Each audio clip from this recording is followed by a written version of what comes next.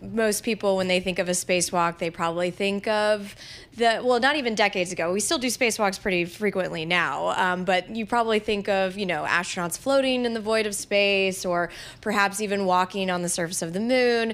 Um, this one was really mo mostly a test to see how the new spacesuits that spacex developed um, held up in the vacuum of space.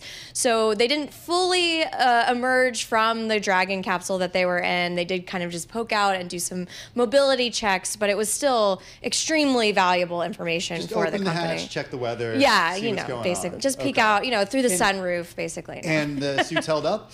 Yeah, it's. I mean, from what we saw, it seemed like they did well. Um, it was a lot of you know moving the arms. I mean, that's really what you need a spacesuit for, right? You have to have it be mobile. You need it. You'll likely need it to fix things, you know, grasp things, and that's really difficult because the way that a lot of people describe what a spacesuit is is it's a human-shaped spacecraft that oh, has to have like a full atmosphere inside for you to in order to survive. And that that doesn't bring a lot of motion with it because when you have that pressurization in the suit it's big it's bulky. And so being able to design something that's that can keep you alive and is also flexible is an extreme engineering challenge. I feel like this is so interesting from so many different aspects. Again, the private sector involved mm-hmm. in some area of the space, and it also just then like okay, Elon kind of expanding his offerings when it comes to space exploration. So talk to us about both of those. Well, yeah, I think the the question is what where does it go from here? Yeah. Um,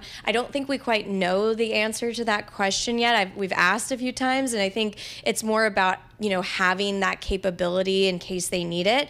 Um, the way it's been described to me, and the way I think the answer that SpaceX will give is that you know their goal is to have people living and working in space, right?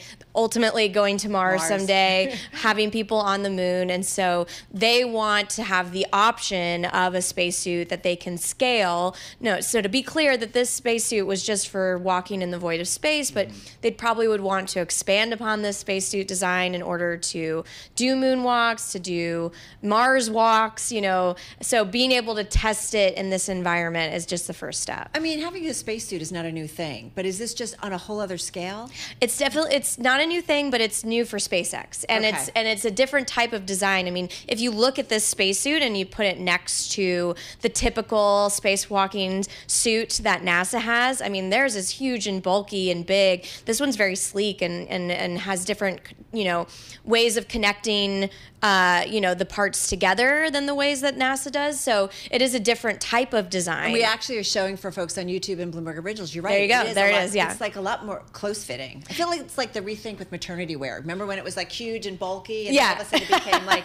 sorry, I know that's well, you know, extreme, but it's interesting. No, I mean, and it falls in line with SpaceX's kind of motif, right? Yeah. Like they, Elon and SpaceX are all about aesthetics. So as much as they are about function, right. they very much care about what things look like, and you can see that in the design of these suits. And, you know, and they're also white, which is a very you know SpaceX heavy design element.